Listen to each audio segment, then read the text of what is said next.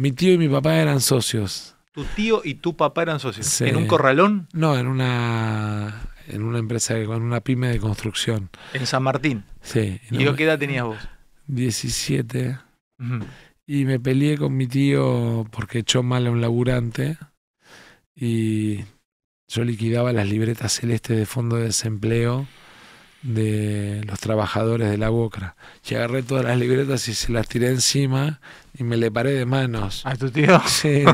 ¿Al hermano de tu A papá? mi tío Francisco, sí. ¿Vive? No, ya no vive, pero eh, era medio cascarrabia, pero buen tipo, muy laburador.